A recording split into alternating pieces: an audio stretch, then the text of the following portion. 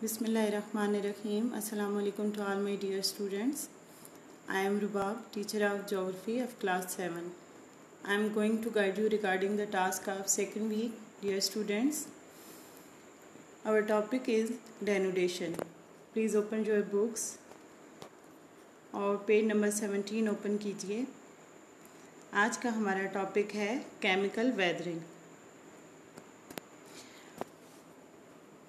Rocks are composed of minerals. Chemical changes occur in these minerals when they interact with water, oxygen, and carbon dioxide. These changes weaken the rocks, which ultimately break down. The breakage and destruction of rocks due to chemical process is known as chemical weathering.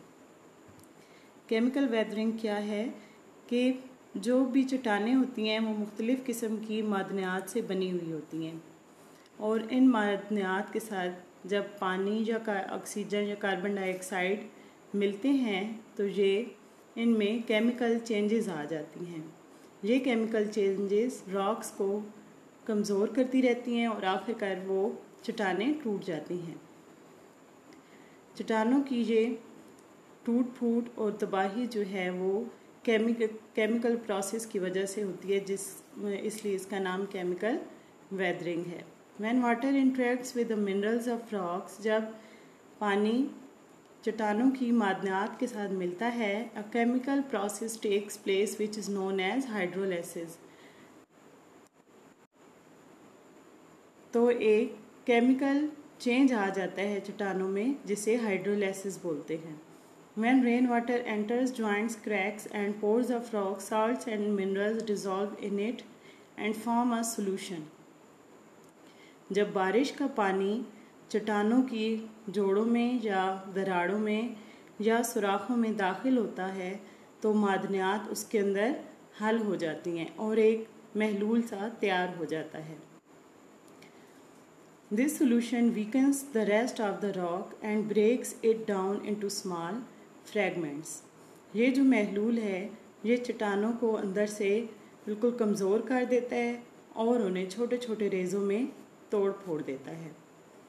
If any iron nail is kept outside in air for a long time, in result in the rusting of iron nail. अगर आप एक लोहे की कील को काफ़ी ज़्यादा अरसे के लिए बाहर खुली हवा में रख दें तो आप देखेंगे कि उस पर जंग आना शुरू हो गया है।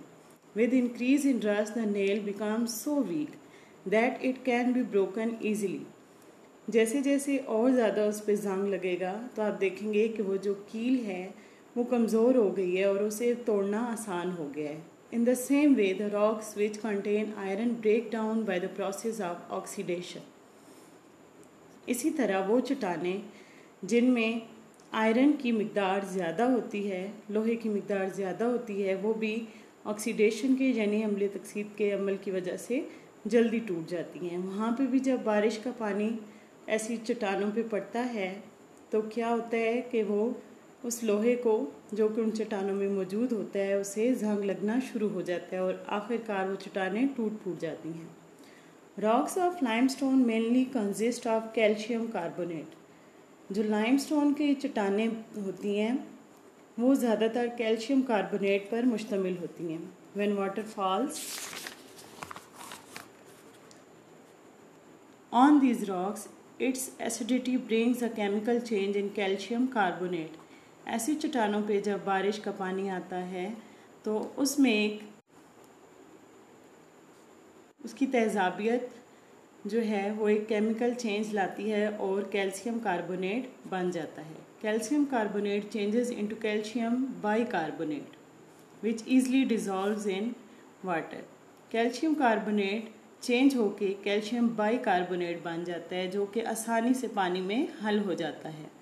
Water flows and takes away these minerals पानी बहता है और ये तमाम मिनरल्स अपने साथ बहा कर ले जाता है। This process of chemical weathering is known as carbonation chemical weathering का ये जो अमल है, इसे कार्बोनेशन कहते हैं।